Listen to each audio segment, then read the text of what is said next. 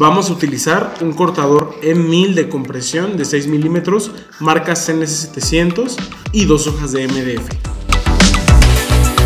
Para este proyecto utilizaremos nuestro router Custom CNC modelo H12500V y sujetaremos nuestro material con la mesa de succión que nos facilitará bastante el proceso de corte.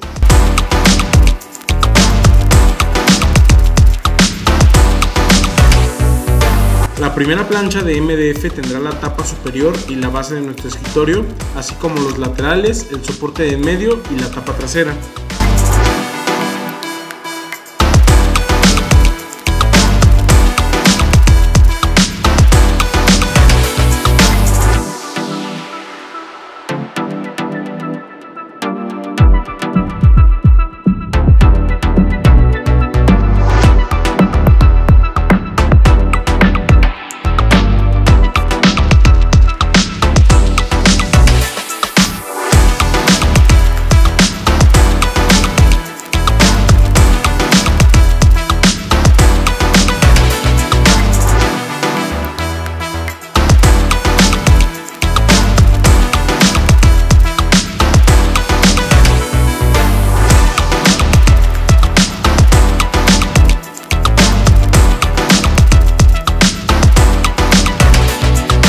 En la segunda plancha de MDF cortaremos dos juegos de patas que posteriormente uniremos para fabricar patas más gruesas.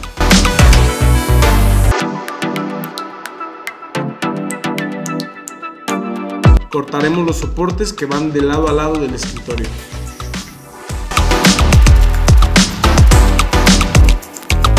Cabe destacar que en ambas planchas tendremos un sobrante de material que no es posible optimizar debido a las medidas que nuestro escritorio tiene.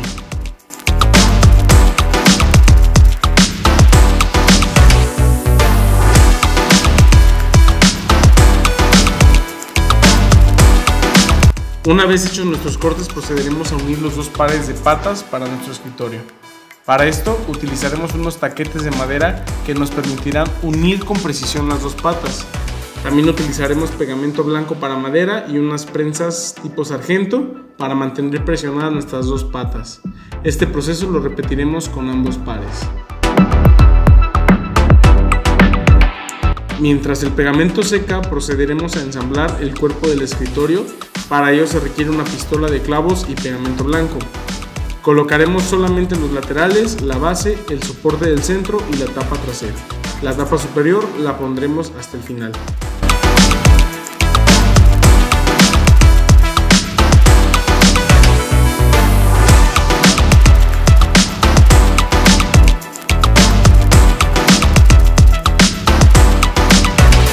Una vez que ya tenemos las patas y el cuerpo del escritorio, es momento de ensamblar las dos partes. El primer paso es unir las dos patas, para ello vamos a utilizar los tres soportes largos que le dan firmeza al escritorio y los vamos a ensamblar cada uno en su encastre. Este encastre entra a presión por lo que no utilizaremos pegamento, solamente clavos.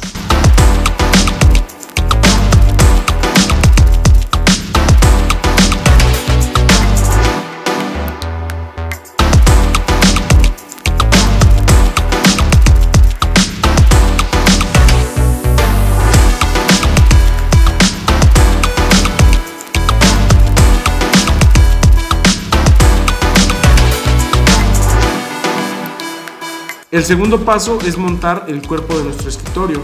Tiene que quedar al ras de la parte trasera de nuestras patas. Una vez montado sujetaremos el cuerpo con clavos a los soportes y posteriormente vamos a montar nuestra tapa superior para terminar de cerrar nuestro mueble. Una vez ensamblado el mueble procederemos a darle acabados de pintura. El primer paso es cubrir todo nuestro escritorio de una base llamada primer gris de piroxilina. Esta base nos ayudará a que el MDF no absorba la pintura y que el acabado sea liso. Este proceso lleva varias capas para sellar bien el MDF y entre cada capa se recomienda lijar para dejar la superficie suave. Una vez que nuestro escritorio ya tiene la capa de primer, procederemos a pintarlo con pintura acrílica blanca la cual tiene un catalizador para que seque más rápido.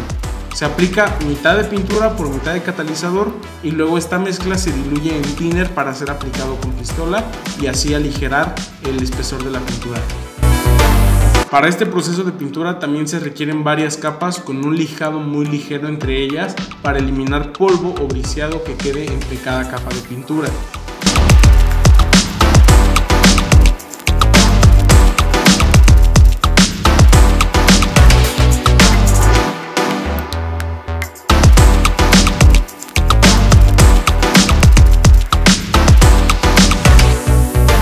Y después de este proceso terminamos con un escritorio nórdico con excelentes acabados, listo para usarse en casa u oficina.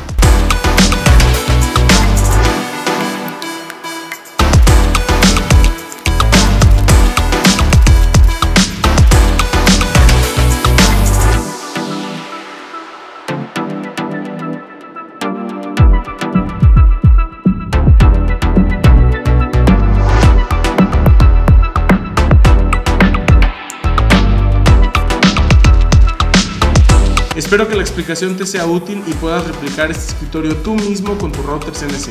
Síguenos para más tutoriales, tips y diseños gratis. Hasta la próxima.